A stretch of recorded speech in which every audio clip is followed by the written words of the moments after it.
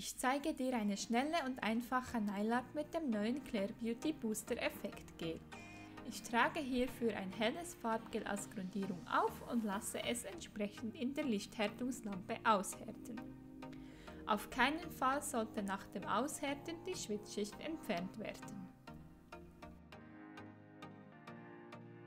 Nach dem Aushärten trage ich eine dunklere Kontrastfarbe auf.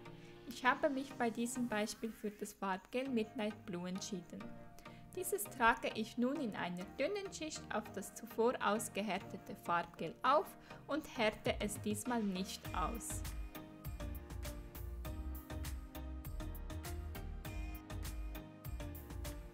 In das nasse Farbgel trage ich mit einem Swirl das Boostergel punktuell auf.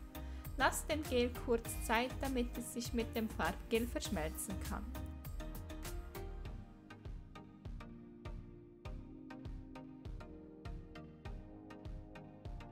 Nun siehst du, wie der sogenannte Blubber-Effekt entsteht.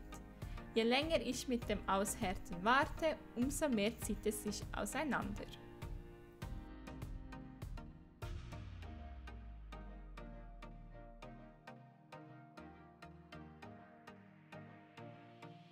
Es wird beim Booster-Effekt empfohlen, hochdeckende Farbgele zu verwenden. Da du das jeweilige Farbgel nur einmal aufträgst, würde das Design sonst nicht so sauber aussehen. Zudem gilt, je heller der Farbunterschied, umso dezenter das Design. Mit dem Booster-Effekt Gel kreierst du in wenigen Sekunden außergewöhnliche Nageldesigns.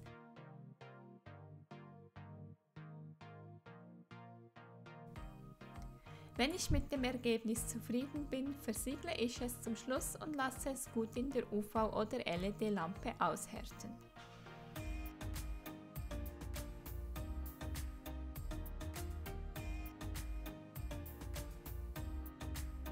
Bestelle jetzt das Booster Gel im Claire Beauty Online Shop und verschönere deine Nägel mit dem individuellen Blubber-Effekt.